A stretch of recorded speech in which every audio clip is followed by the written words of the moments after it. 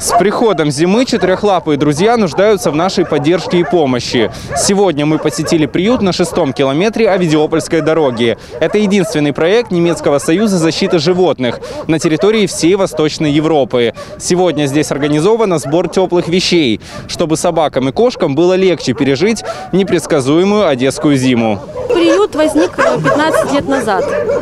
Благодаря немецкой организации Общества защиты животных они увидели проблему в нашем городе, количество наших бездомных животных, которые страдают, никто этим не занимается, и решили нам помочь. К нам поступают животные как по скорой помощи, э, так и население э, неравнодушное, которое видит э, страдающих животных, кого сбила машина, кто с отравлением, еще какие-то патологии, они могут перевести к нам этих животных, либо если нет, то вызывают нашу скорую помощь. На территории приюта создан современный центр интенсивной терапии, центр реабилитации и комфортные условия для адаптации животных. Помимо здоровых питомцев, которые ждут своих хозяев, есть и те, которые нуждаются в хирургическом вмешательстве. Ведущий врач приюта рассказал нам о том, как оказывается необходимая медицинская помощь. У нас есть вот так, такое вот э, отделение интенсивной терапии, у нас 10 клеток.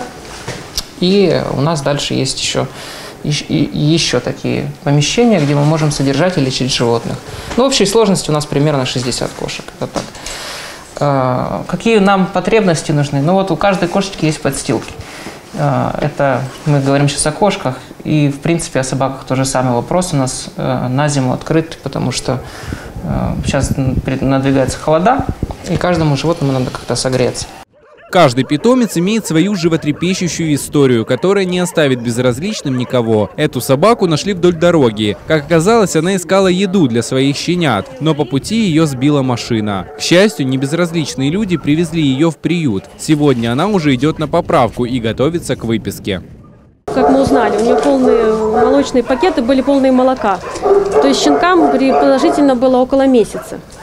Вот, и она к нам пере, попала с переломом тяжелым, в тяжелом состоянии. И мы не только волновались за ее состояние, как она выживет, но и понимали, что где-то вдоль дороги там где-то щенки. Наши хирурги сделали сложную операцию, там был перелом э, бедренной кости. И вот она уже бегает, она уже веселая, вот, спокойная, что там дети у нее все в порядке с ними. Вот, она уже скоро у нас пойдет на выписку.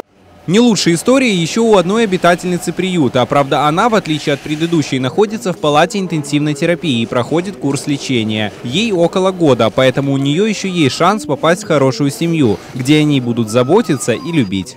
Она уже больше двух месяцев у нас. Значит, она приехала к нам с тяжелой травмой таза и переломом шейки бедра.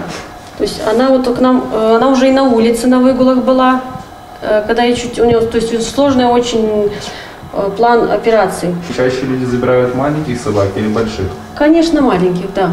Вот в квартиру в основном. Для частных домов они э, берут крупных собак, это реже бывает. В основном такие маленькие, они пользуются популярностью.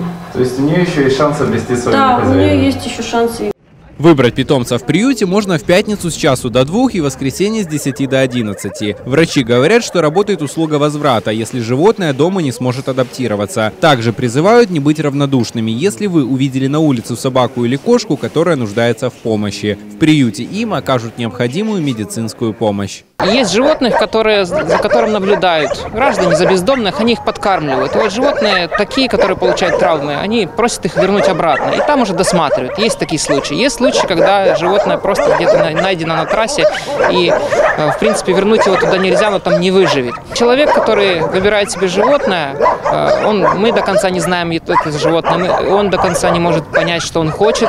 И поэтому, если они, так скажем, не сошлись характером, либо, э, ну, если у человека есть еще другие домашние животные, они их не приняли, то человек может вернуть обязательно. Приют – это не просто место содержания попавших в беду животных. Это станция надежды для тысяч бездомных собак и кошек, которые в будущем станут для вас хорошим другом и подарят свою любовь взамен на вашу заботу и ласку. Василий Базаблук, Анастасия Петрович, Владимир Ивжич, телеканал «Репортер».